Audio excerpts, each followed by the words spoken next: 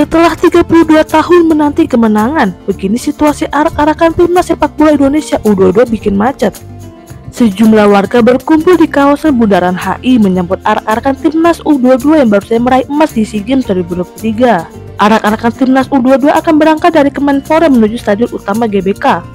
Sejauh pantauan Hopes.id melalui media sosial dan berbagi siaran langsung pemberitaan media lokal, lalin di sekitar Sarinah hingga Budar HI macet pada pukul 8.10 waktu Indonesia Barat Jumat 9 Mei 2023. Terlihat ada mobil komando persis di depan Budaran HI dan masyarakat yang menunggu kedatangan timnas U22.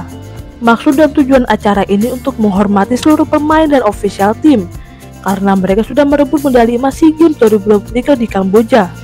Ini medali emas yang sudah lama sekali ditunggu yakni 32 tahun setelah terakhir kita merebutnya di SEA Games Manila, Filipina pada tahun 1991. Selain itu juga untuk memberikan kesempatan kepada masyarakat yang selama ini mendukung perjuangan tim U22 untuk melihat dan bertemu pemain secara langsung. Ujar Exco PPSI Arya Sinulinga sebagaimana dikutip. Beberapa masyarakat juga membawa bendera merah putih sambil menyanyikan Garuda di dadaku. Terlihat juga beberapa karangan bunga bertuliskan selamat untuk timnas U22 yang sudah berhasil membawa pulang medali emas. Ada juga panggung hiburan di dekat Bundaran HI.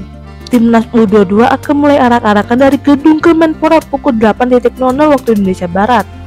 Arak-arakan akan menuju Jalan Jenderal Gatot Subroto, Jalan Jenderal Sudirman dan Bundaran HI. Arak-arakan akan berputar di Bundaran HI, kemudian melalui Jalan Jenderal Sudirman dan masuk pintu VIP Barat Gelora Bung Karno atau GBK. Jadi menurutmu gimana Hoppers? Tulis di kolom komentar ya.